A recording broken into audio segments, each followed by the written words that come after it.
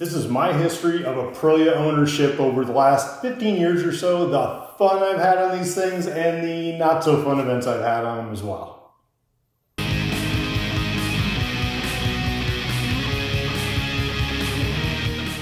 Growing up, about the only bikes I really knew of were Harleys and uh, I guess the Japanese crotch rockets. I never even heard of an Aprilia motorcycle till around maybe 2000 or so. I bought a car from a guy behind North Star Mall here in San Antonio, and he told me that he was going to start carrying Aprilias. So I went by on the Harley one day and he said, you know, come back when I've got some demo models and take one out for a drive.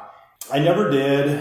And then, you know, a year or two later, I happened to be in Austin for a work meeting or something, and I saw an Aprilia dealer up in the north part. And so I stopped in to look at him, and what I couldn't get over is I was used to Harleys where I kind of got good at controlling the back wheel skids like you do on a bicycle as a kid, right? Where you hit the back brake and that's how you control it. And to see these massive front Brembos on this thing, I thought, how in the fuck are you supposed to do that? Use these without sliding the front end out. I just, I couldn't get my head wrapped around it. I had a buddy in Austin about that time too that he was a sport bike guy and he said, look, if you're going to try a sport bike, you might like an Aprilia because they have a V-twin at the time. It was that Rotax V-twin. And he said it might be a little bit closer in sound and feel to you and more torquey like what you're used to with the Harley V-twins. So time goes by, I'm in Florida, I've got the chopper shop, happen to be dating a cute little gal from the beach. One of the things I took away is, you know, for me, kind of a hot little chick, she was really into sport bikes. And I thought, well, at the shop, I have choppers and the Harley, but maybe I'm missing out on some business because I don't have any sport bikes that I can show off my work. I really didn't want the standard cookie cutter Japanese bikes. So I started looking at Aprilias again and I found a used one in either like Idaho or Utah. It was a 2000 RSV Mille and it was this god awful yellow, unfortunately, but Everything else looked good about it. The guy seemed decent. I should have pushed for a pre-sale inspection. I asked him about it and he's like, nah, everything's fine. I can do one if you want. And I always did them with the cars, but it was one of those things where I was a little bit too anxious and I really should have got the pre-sale on it. I'll explain why in a minute. So the bike showed up. I think I paid like six grand for it or so. The bike showed up at our fab shop in Jacksonville and it wouldn't even start. So I had to jump the battery, get it going, and then ride it home. And um, so I rode it home from the fab shop. And besides the awful yellow, the bike was kind of cool looking, and that didn't sound exactly like a Harley by any stretch, but still a nice V-twin rumble to it. And uh, it just, you know, it was a very different seating position. Felt very different for me. Got it home. Now, Tracer, my buddy in Florida, had a yellow the VFR or something we called it a Burro but he had this yellow VFR, and I'd ragged him constantly for driving this awful yellow bike. So, of course, once I had the yellow bike, he couldn't wait to get pictures. I was dating some cheerleader at the time who was unfortunately dating like two, three other dudes. So I think the inside of her crotch must have looked like Spider-Man shooting range. But anyway, all that aside, me and her rode out to his place. He was waiting outside with a camera just to get a picture of me on the yellow bike. He and I both knew that it wasn't going to stay yellow for long. So I couldn't wait to roll it into the shop and get it painted a decent color. I was used to Harley's choppers where you have basically two fenders, an oil tank, and a gas tank, right? That Aprilia, I think there was like 13, 15 pieces that came off of it. And I wanted to do something almost chopperish looking, so I did it all in flat black. I did leave the silver underbelly with the Aprilia stickers on it, painted the rest of it flat black, I did like some white skeleton hands coming out of the vents on both sides. Um, a pelvis bone on the tail with lip prints for Kiss My Ass. And then where the helmet recess was, I did a, a skull in there. So I really enjoyed how the, the look of the bike came out after doing all the paint work. I had a Sportster at the time, and I kind of wondered, how's this going to be going back and forth between the two? You got to remember what you're riding. Because the Sportster, you're going to use the rear brakes, and on the Aprilia, you got to use the front brakes. The acceleration of that Aprilia was like nothing I was used to. I was following Trace down like, I guess it'd be First Street right alongside the water one night at the beach. And in first gear, I just, you know, cracked the throttle like halfway and that tank slammed up against my chest and back down before I knew what happened. And the brakes were also a whole lot touchier than what I was used to. I was going down Bay Meadows following a car. I wasn't paying as much attention as I should be. It was in stop and go traffic, and this car locked up its brakes. And fortunately, I reacted and hit the front brakes. And when I went forward, the tail come up off the ground. And I remember looking down, and right below my eyesight was the ass end of the trunk. And I was like, oh, I'm going to snap my neck. but uh, it, it settled back down, slammed the tail back on the ground. And so fortunately, that was a, a lesson in how good they actually break. The power of that thing, though, was I think around 128 horsepower or something. But again, it was way more than what I was used to, and such a lighter bike too. I remember taking off from a bar one night over by Southside somewhere, and you know ran it through the gears and even shifted into third, the front end coming up on me. It was just a ton of torque.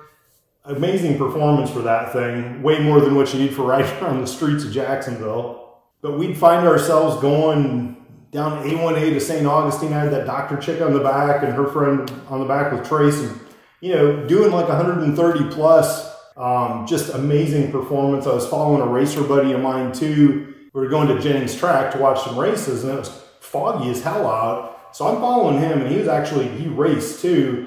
And all I see is his tail light, and there was like a, a sharp turn, and all I saw was his tail light go off like this. And I had to slam the brakes on the Aprilia to barely make that turn. So it was more than what I had any business being on at the time. After getting the Aprilia, Tracer stopped by the shoebox apartment I had at the time uh, it was around my birthday, I think, actually, with a, a, box. And he said, since Harley Trash Like You doesn't believe in safety gear besides, what do you say, uh, jeans and uh, wife beaters and shades, basically. He said, I know you don't have enough sense to buy one, so here's your first one. It was a little icon uh, black helmet, so that was my first helmet. And soon after that, you start to realize, yeah, it's probably a good idea to have the gear. So I ended up with you know, the mesh jacket and some gloves and boots and stuff. I really enjoyed riding the bike. The only real headache I kind of had with it, the I think the starter relay I had to change one time because it wasn't starting and I ran, ran like a heavier ground all the way back or something. It had a hydraulic clutch on it and that hydraulic slave cylinder down by the engine, it just failed. Uh, I had to replace it, rebuild it, whatever, a couple times. Finally, I got an aftermarket one from AF1 Racing here in Texas shipped out to Florida and replaced it with that. Then I was riding to the tattoo shop out at the beach one night on it, and it started making some horrendous noise and it it grenaded. The engine didn't lock up, but everything went bad and the lights came on the dash and everything. So I ended up getting to the tattoo shop and then went and got a trailer and hauled it back later. But when I took it apart, what had happened is it thrown the front rod bearing and so you could grab that front piston and just move it freely because the, the front bearing was basically shot. I ended up finding a used engine through the Aprilia forum for like 1300 bucks, I think, and it was in really good shape. So I did the swap, but when you're used to changing a Harley engine, you have like, what, three or four hoses and three or four wires. There must have been like 25 different wires and hoses and things I had to disconnect and reassemble. And so I taped every one of them because I didn't know what the fuck I was doing. And it was, you know, unlike a Harley engine where you just pull it out the side, this thing you had to like put come along from the rafters and hold the engine and drop it down and then lift the frame off. It was, again, very different than building choppers for me. But I got it all put back together, ran well again, and then shortly after that, I ended up having the first open heart surgery. So when I got out of surgery and got back from Colorado, I ended up tearing apart the Aprilia and the Sportster just to keep the two bikes disabled so that I wouldn't be stupid and go ride them too early while the sternum was still healing. I had them back together by March for bike week. So I did take, uh, I think Sunshine and I took the Aprilia down one night and then I took the Sportster down once or twice that week as well. So back on the bikes, and I think with that time what I did is I took that underbelly and instead of the silver it was, I painted it red and put the white sticker. So I really like the look of it after doing that mod to it. The other thing I had to do about that time with it is the rear shock, I think there was a Sachs that was on it. Sunshine was on the back with me and we were going around to Clover and it just felt like something didn't, you know, feel right back there. And I got to looking at it and somehow the, like the dust booted broke and it just everything was messed up. So I sent it to, I think, Traction Dynamics up in Atlanta, if I remember right. And they rebuilt it for my size. I guess the spring was way undersized for me. I don't know how anybody but a jockey would have been riding it. They got it all set up for me, rode great after that. Every year, Tracer and his buddies took a trip up to the Dragon in North Carolina, and they'd go ride the mountains. And he'd always ask me, you know, if I wanted to go. And of course, I was always too busy with the shop or whatever. The year after surgery, though, that, see, I had surgery in November, so the next September, they were taking a trip, and he asked me if I wanted to go, expecting me to say no. And I'm like, yeah, I'll do it this time. So we rode our bikes from Jacksonville, eight hours to uh, Franklin, North Carolina. We threw our shit in the hotel. It was probably 40 minutes we'd been out on the mountain roads and I was keeping up with him pretty good. I didn't know what the fuck I was doing. I had no business being on a bike like that, especially in curves like that. But I thought, fuck it, he's older than me. If he can do it, I can do it. So I stayed right on his ass. And about that time, it was in the right lane. It was a tightening radius and I started braking and I felt the front end washing out. I knew not to target fixate, so I was trying to watch where I wanted to go. But once I felt that front end laying out, I knew I was fucked, right? So then I kind of looked at what I was going to hit while it was just a drop off down the mountain. So I basically ejected the bike, went like this, and felt myself sliding across the oncoming lane of traffic. Thank goodness nobody was coming at me. It'd be a hood ornament. The bike ended up going over the side, down the mountainside I ended up laying on the little three foot grass shoulder with one arm hanging off the side. And I looked down and it was a, just a, a super steep drop. So the bike basically went over and slid down and landed between like against a tree and the hill here or the mountainside here.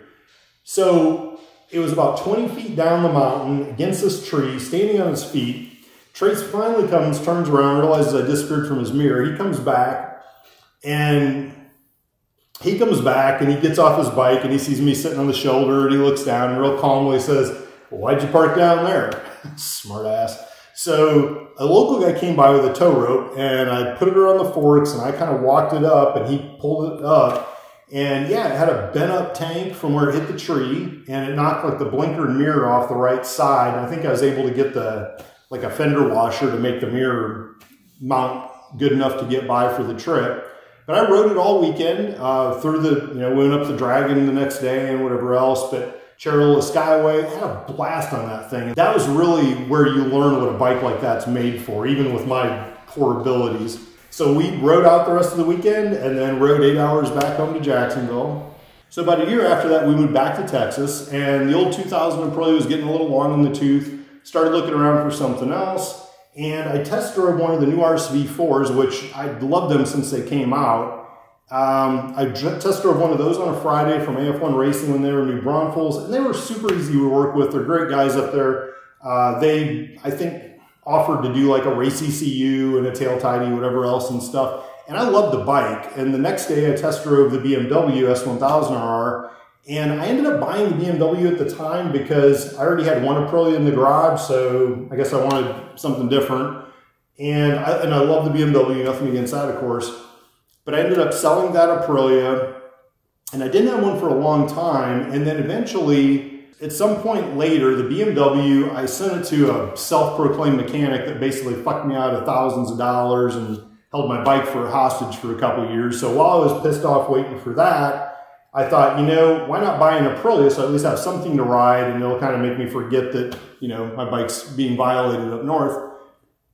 So I went to AF1 Racing and they had a, it was an 18 RSV4 1000RR. And I mean, they'd come so far since that old Mille that I had, of course. Loved the bike, bought that one, and really enjoyed it for a few months. Took it out to Colorado, rode up Rocky Mountain National Park, and so, you know, it was way up at the top, beautiful scenery, and I tell you, that bike was such a blast out there. I had so much fun. I did catch a bird in the shoulder at 130 one day. I went off the road at Buckhorn. There's some loose gravel and I was coming around a little bit too hot. Fortunately, it was just went into the grass and I didn't hit any tree, but that was pucker factor high. The last day I went up Poudre Canyon with that thing early where there's like almost no cars. And I think the computer on it said that for those, was it 25 miles? I think I averaged 60 miles an hour through all those curves and everything. So I was screaming through there, but the bike rode so nice through there. I just can't say enough about how much I enjoyed riding that bike in those mountains that weekend. So I survive all that shit. I get back to Texas, and the next weekend, I think it was Labor Day Sunday that weekend. Sunday morning, it was still dark. It was like six or whatever, still dark out. And I was north of Boerne heading out the back roads, and I came around a turn and I pinned the throttle. I was tucked all the way in. And I'm used to seeing deer because I grew up in Iowa where they're all over the place. So you have to learn how to see the eyes sparkling in the dark. This fucking thing, I didn't see shit until it was like two feet in front of my headlight. And it was in mid spring. So it's two feet in front of me, mid spring.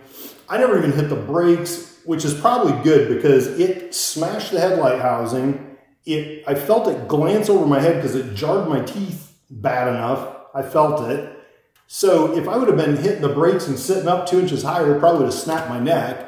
But it was a seven point buck, killed it. It ended up dead on the side of the road. I thought I was going to be able to keep it upright, but you know, even after I cleared the deer, I lost it and I went ragdolling down the highway. And I remember coming to a stop, seeing my bike slide another 25 yards away or so in the grass.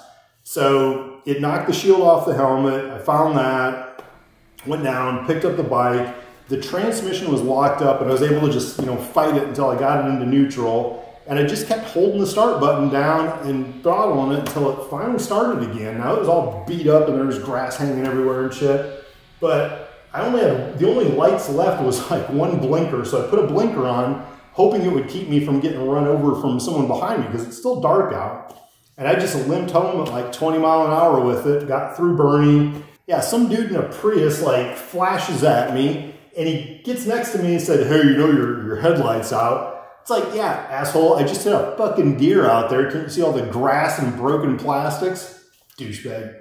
I got the bike back and like every hour I heard worse and worse new pain somewhere.